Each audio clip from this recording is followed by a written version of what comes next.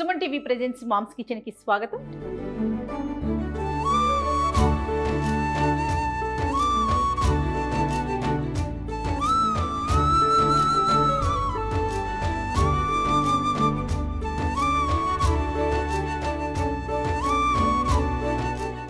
శ్రావణ మాసంలో ప్రతి శుక్రవారానికి సంబంధించి మంచి మంచి నైవేద్యాలు ప్రసాదాలు రమ్మగారు చూపిస్తున్నారు కదా. మరి ఈ రోజు ఏం ప్రసాదం చూపించబోతున్నారో రమ్మగారు? శనగపప్పు పాయసం చేసుకుందాం. శనగపప్పుతో పాయసమా. ఓకే. మామూలుగా పెసరపప్పు గుమ్మడికాయ కలిపి చేసుకున్నాం. పెసరపప్పు ఈ శనగతోటి కూడా చేస్తారు. అప్పుడెప్పుడో ఉడిపి వెళ్ళాను చూడు మొన్న వెళ్ళింది. ఉడిపి కాదు. ఐదారేళ్ళ క్రితం ఒకసారి ట్రిప్కి వెళ్ళాం. అవును. అప్పుడు ఈ శనగపప్పు పాయసం గుళ్ళు దేవాలయపు భోజనంలో వడ్డించారు ఉడిపిలో ఉడిపిలో. అలా డిఫరెంట్గా ఉంది ఏమనుకున్నంటే పూర్ణం వడ్డించారని భావించాను నేను. కానీ అది పూర్ణం కాదని అది పాయసం అని పక్కన కూర్చున్న ఒక తెలుగు వచ్చిన కన్నడిగా ఆవిడే నాకు చెప్పారనమాట సో ఎలా చేస్తారు నీ రెసిపీ ఆవిడని అడిగాను. ఆవిడ సగం కన్నడ సగం తెలుగు రెండు మూడు ఇంగ్లీష్ ముక్కలతోటి కొంచెం చెప్పారు. ఆవిడ మూడు నాలుగు వెరైటీలు చెప్పారు. రెండు మూడు వెరైటీలు ట్రై చేసి నాకు బాగా నచ్చిన వెరైటీ ఇవాళ ప్రజెంట్ చేస్తున్నాను తప్పకుండా. అలానే. అమ్మవారికి కూడా మనం మీరు శనగపప్పు ఇష్టం. అని చెప్పారు. లక్ష్మీదేవికి శనగపప్పు అంటే ప్రీతి కాబట్టి. శనగతోటి చేసే ఏ తీపి పదార్థమైనా మనం బూరెలు చేసుకుంటాం కదా అవును. ఇలా పాయసం చేసుకోవచ్చు. శనగపప్పుని బాగా శుభ్రంగా కడిగేసి ఒక గంట రెండు గంటలు నానబెట్టేసేయండి. దీంతో పాటుగా ఒక కప్పు శనగపప్పు అయితే ఓ రెండు స్పూన్ల బియ్యం. అంతే బియ్యం. రెండు స్పూన్లు బియ్యం. చాలు. ఆ, ఈ బియ్యాన్ని కూడా నానబెట్టి పక్కన పెట్టుకుందాం. ఓకే అండి. దీనికి మనకి బెల్లము కొబ్బరి కావాలి. పచ్చి కొబ్బరి. ఆ, ఇవి రెండు పక్కన పెడదాం. ఇప్పుడు ఏం చేద్దాం అంటే నానబెట్టిన శనగపప్పుని రెండు విజిల్స్ రానిద్దాం కుక్కర్లో పెట్టి. ఉమ్. స్టవ్ వెలిగించేసి పప్పు నానబెట్టేసుకున్నాము. అవునండి. ఓ కప్పు నీళ్ళు పోస్తే చాలు. బాగా నానిపోయింది కాబట్టి. దీనికి పాకం హడావిడి ఏం లేదు.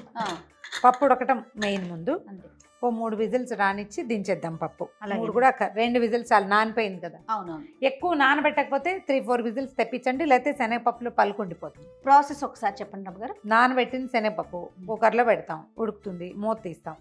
కొబ్బరి బియ్యము నానబెట్టిన బియ్యము మెత్తగా రుబ్బేసుకుంటాం. మిక్సీ చేసుకుంటాం. మిక్సీ చేసేసుకుంటాం. ఈ కన శనగపప్పులో నీళ్ళు అవసరమైన కాసి మరి కాసిన నీళ్ళు పోసుకుని బెల్లం వేసి బెల్లము శనగపప్పు కలిపి ఉడుకుతూ ఉండగా మనం ఈ రుబ్బేం కదా కొబ్బరి పాలు బెల్లం బి- బియ్యం పాలు అవి పోసేస్తాం. ఓకే. ఇంకా పైన పాలు పోయక్కర్లేదు కొబ్బరి పాలు అక్కర్లేదు ఇవి రెండు రుబ్బి పోసేస్తాం. బాగా ఈవెన్గా ఉడుకుతుంది. ఈ బియ్యం కూడా ఉండటం వల్ల చిక్కదనం వస్తుంది. ఎందుకంటే శనగపప్పు బిళ్ళలు బిళ్ళలుగా ఉంటుంది బేడలుగా ఉంటుంది కదా గింజగా. దానికి చిక్కదనం కోసం అండ్ ఏమనాలంటే దాన్ని బైండింగ్ కోసం బియ్యం. ఓకే. అట్లా. మనం ఇందులో శనగపప్పుతో పాటుగా సగ్గుబియ్యం వేసుకోవచ్చు పెసరపప్పు వేసుకోవచ్చు ఏదైనా వేసుకోవచ్చు. మనం బియ్యము కొబ్బరితో చేస్తున్నాం. ఓకే. అది.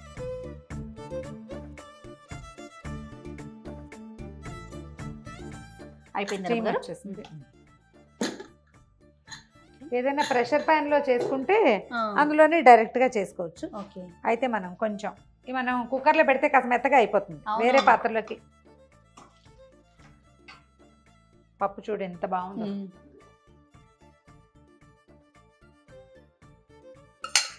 చక్కగా ఉడికింది రమ్మ గారు.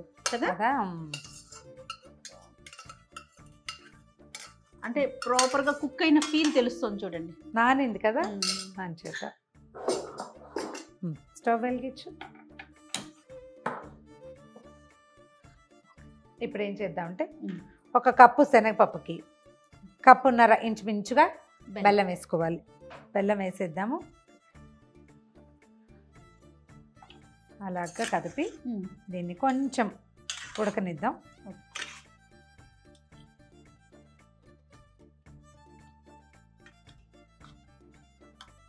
బెల్లం కరిగాక. మనం బియ్యం కాసి నానబెట్టి పెట్టుకున్నాం కదా? నానబెట్టి పెట్టుకున్న బియ్యము.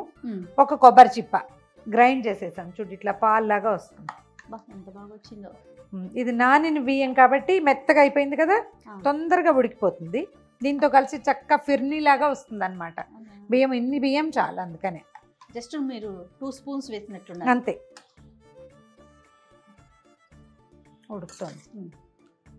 కొంచెం బెల్లం కరిగితే సరిపోతుంది బెల్లం కరిగాక మనం బియ్య పిండి పోసేసుకోవచ్చు.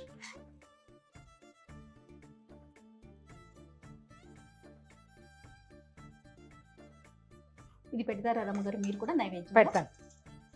ఇది పెడతాను పెసరపప్పు పాయసం పెడతాను. చూడుకి. అయితే ఇప్పుడు మనం బెల్లం వేసాం కదా ఇంకంత మనం నొక్కితే తప్పిస్తే మెత్తపడదు ఇలాగే ఉంటుంది. కొంచెం మనం చిక్కగా కావాలి ఇంకా బాగా ఇది కలిసిపోవాలంటే కొంచెం పప్పు గుత్తితో కుమ్మేసుకోవాలి. ఇలా ఉంటే బాగుంటుంది లుక్. పప్పు ఉంటే చూడటానికి బాగుంటుంది. పెసరపప్పుతో కూడా చేస్తారండి? పెసరపప్పు పాయసం సేమ్ ప్రాసెస్? ఇదే ప్రాసెస్ మనం గుమ్మడికాయ పెసరపప్పు కలిపితే బాగుంటుంది. ఆల్రెడీ మనం చేసాం ఒక వీడియో. బాగుంటుంది. అది కూడా పెట్టుకోవచ్చు. బెల్లం కరిగిపోయింది కదా జయ అవునండి. ఇప్పుడు మన కొబ్బరి పాలు పోసేద్దాం. ఎంత తీసుకున్నారు రమ్మగారు కొబ్బరి? ఒక్క కొబ్బరి చిప్ప.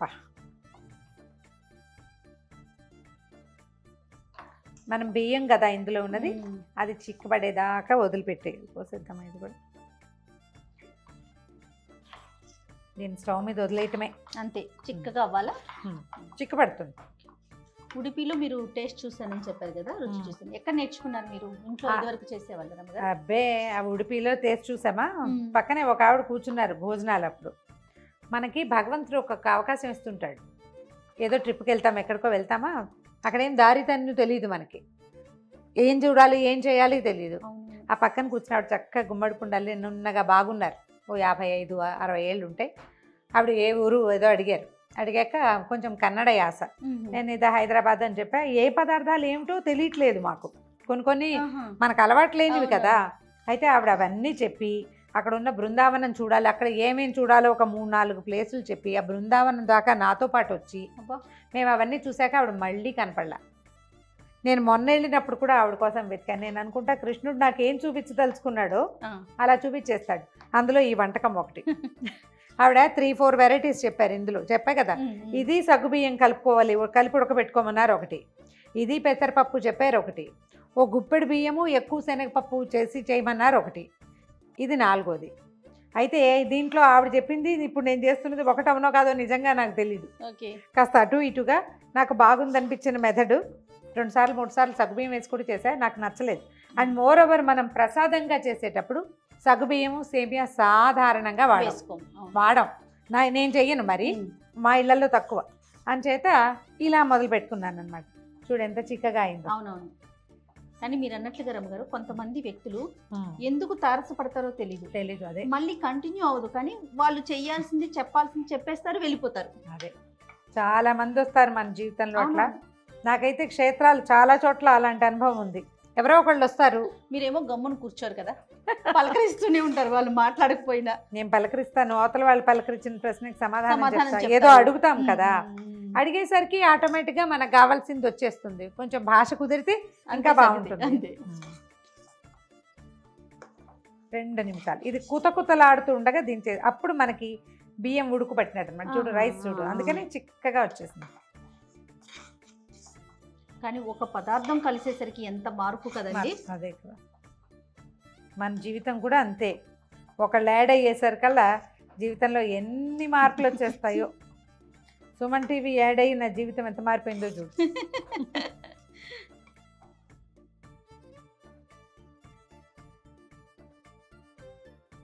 నీ పాల తాలికలు వాటిని గుర్తు తెస్తోంది కదా? అవును గారు.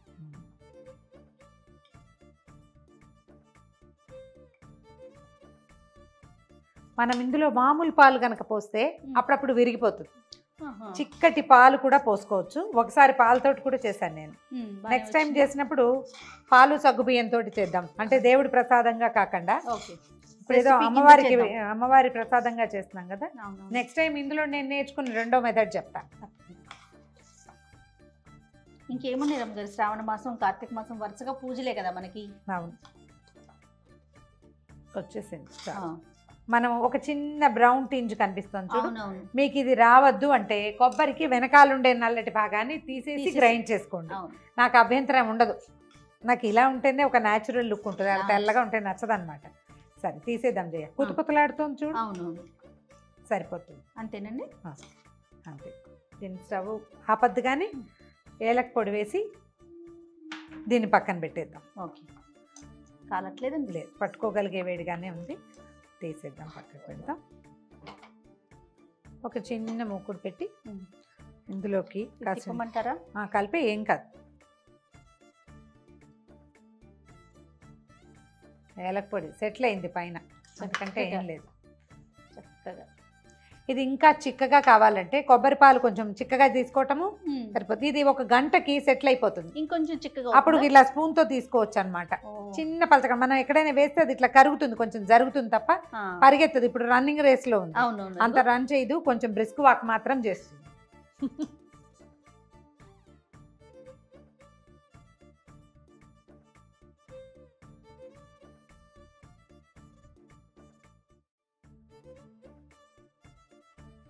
జీడిపప్పులు కిస్మిస్లు కావాలంటే చిన్న బాదం ముక్కలు కూడా వేసుకోవచ్చు. వేయించేసి అందులో పోసేస్తాం.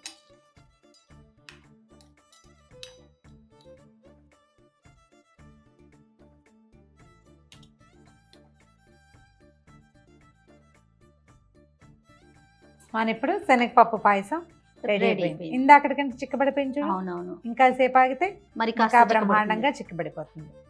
ఇలా ఒక కొత్త పాత్రలో చేసుకుంటే. ఇక మళ్ళీ ఇంకో సర్వింగ్ డిష్ లేకుండా ఈ డిష్నే తీసుకెళ్ళి అమ్మవారి దగ్గర కూడా. పెట్టేసేయచ్చు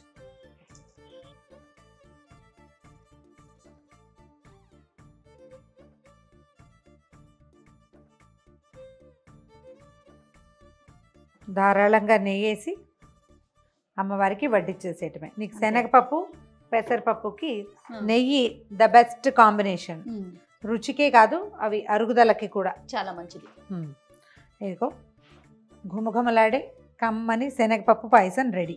ఎస్ సూపర్ అంటే ఒక్కొక్క వారం ఒక్కొక్కటి పెట్టాలి అనుకునే వాళ్ళు ఏం పెట్టాలి ఏం పెట్టాలి ఒక అనుమానం ఏం చేయాలని తోచదు రమ్మగారు అవును ఇది ఒక రోజు వాడుకోవచ్చు చక్కగా. ఐదు ప్రసాదాలు చేయదలుచుకున్న వాళ్ళు ఇది ఐదో ప్రసాదంగా చేసేసుకోవచ్చు. అంతే. రమ్మ గారు. థ్యాంక్ యూ సో మచ్ మరొకసారి మీకు శ్రావణ మాసం శుభాకాంక్షలు. సుమన్ టీవీ ప్రేక్షకులందరికీ శ్రావణ మాస శుభాకాంక్షలు.